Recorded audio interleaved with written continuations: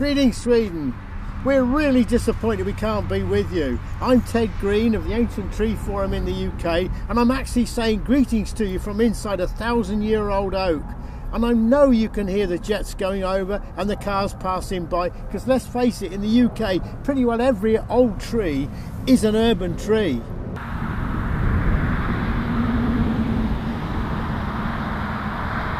I'm really pleased to think that Sweden is having yet another oak conference.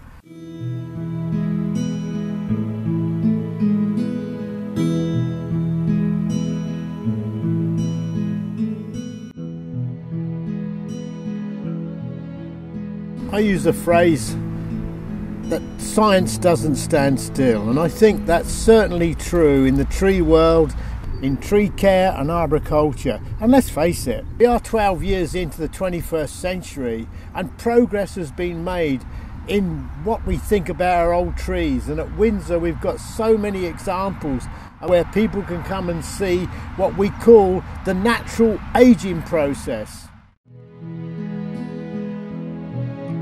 To many people, this old tree might be seen as just a load of old dead wood.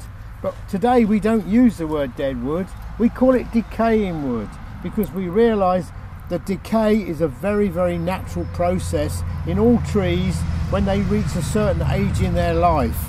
And this one is a thousand years old. So we use words like biological continuity because looking at a tree like this, how did it become hollow? Why is it hollow? What made it what it is today?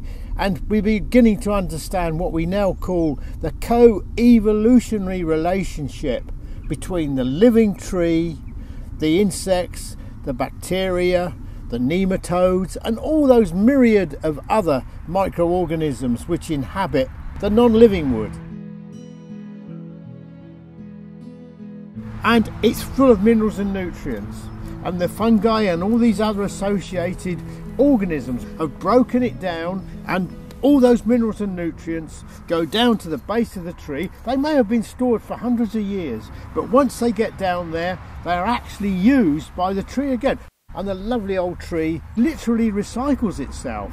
But having said that, we've got all this old dead wood. But look here, it's alive thousand years old and it's still going strong. Look lovely beautiful. The outer ring of the tree is just as living and alive as it was a thousand years ago. And we're beginning to understand that now and we're beginning to understand about the mycorrhizal fungi the fungi that live in the soil which actually attach themselves to the tree roots. And these fungi that live in the soil could well be thousands of years old because if this tree is a thousand years old, it's possible that there are only seven or eight generations of this tree back to the Ice Age. And that means the organisms that have been living in this tree and also the organisms that are living under the soil. So this tree not only is a reservoir of biodiversity for all its organisms, it's a reservoir of gene banks, of longevity. So we can study this tree. Let's hope it's here in 500 years' time. It is essential that we try and keep these old trees going for as long as possible until science catches up. Because, as I've said right at the beginning, science does not stand still.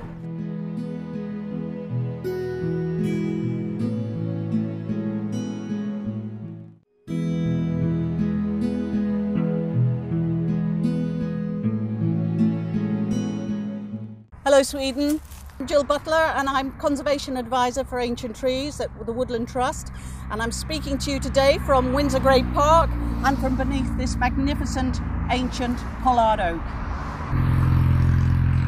So where do ancient trees come from?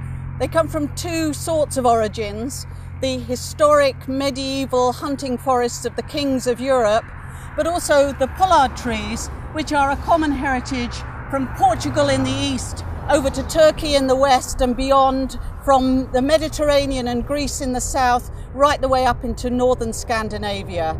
These trees are so important for our heritage.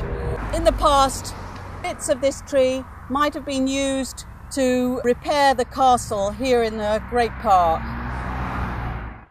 We so much admire you in Sweden for what you've done for your ancient trees already.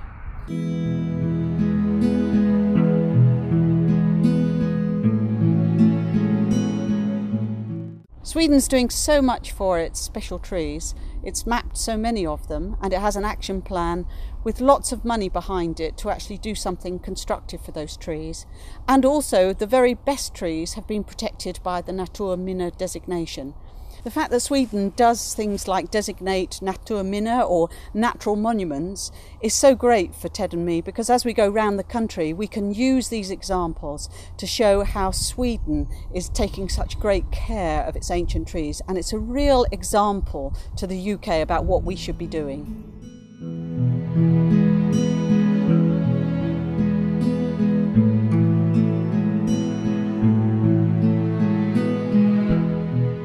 It's really marvellous when we travel around other countries in Europe to be able to use the Swedish examples of what you're doing for ancient trees to encourage other countries to do much more.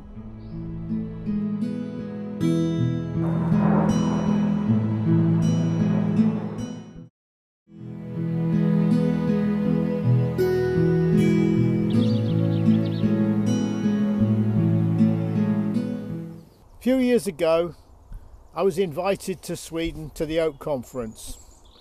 During the Oak Conference, Nicklas Jansson asked me if I'd give an after dinner speech.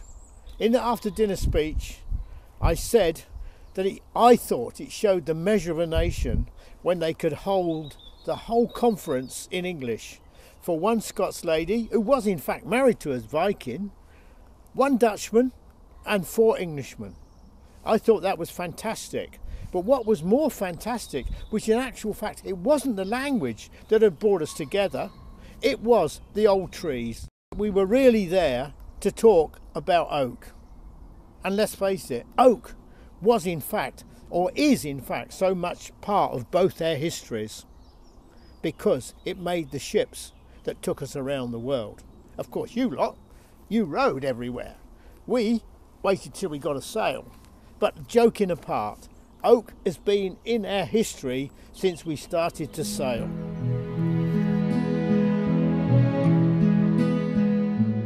We owe you a great debt for what you are doing to push the old trees of Europe because both you and, our, and us in the UK have a great obligation to the rest of Europe to conserve our old trees.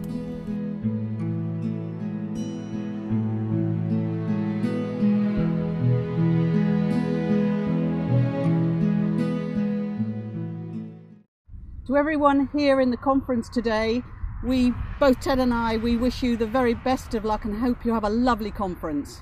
And thank you, Sweden. Good luck. And remember, planet Earth needs you.